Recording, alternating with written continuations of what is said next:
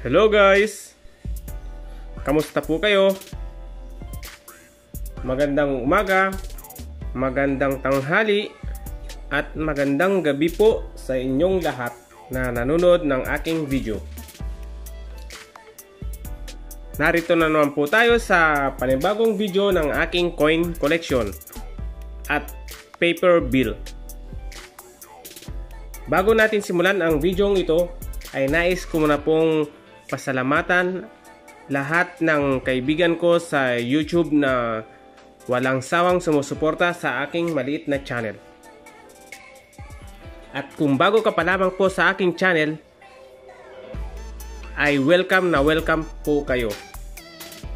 At huwag nyo na rin pong kalimutan mag-subscribe at pindutin ang notification bell para updated ka sa panibago kong video. At kung gusto mo naman pong magpa-shoutout, ay mag-comment ka lamang po sa comment section para sa susunod nating video ay may sama ka sa shoutout. Ang tatalakayin po natin ngayon ay ang aking coin collection na may error. Ang ito po ang una ay yung 1 peso na may taong 2009. Kung nakikita niyo po, ang error niya ay dito parang may ano siya may tuldok. Ayan po. 2009 kasi may umbok po siya kaya kinolekto ka na. Ang pangalawa po itong 2017 na may CAD error at rim error. Dito po may excess siya at saka dito may excess na at yung rim niya po ito po oh. yan may rim error po siya yan po ang ating pangalawang coin error. Halatang halata po dito, yan o, yung kanyang rim error.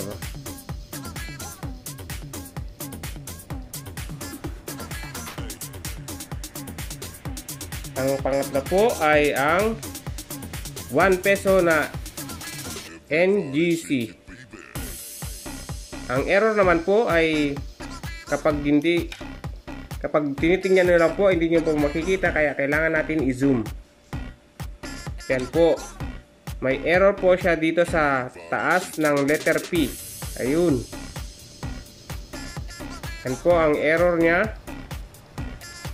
Ito po ay NGC 1 peso. Year 2018. Yan po ang ating pangatlong error at may nakolekta naman po ako bagong bago. Ito po, malutong malutong na $100. Ayan po, collectible na serial number na pares-pares. 21565126. Yan po ang $100. Bagong bago. Malutong. Malutong po siya. Series 2003. Ayan po, na-share ko lamang ang aking paper bill collection at coin collection na may error. Maraming salamat po sa walang sawang panunod ng aking video. Hanggang dito na lamang po ang may click kong video kaya mag-ingat po kayong palagi. God bless.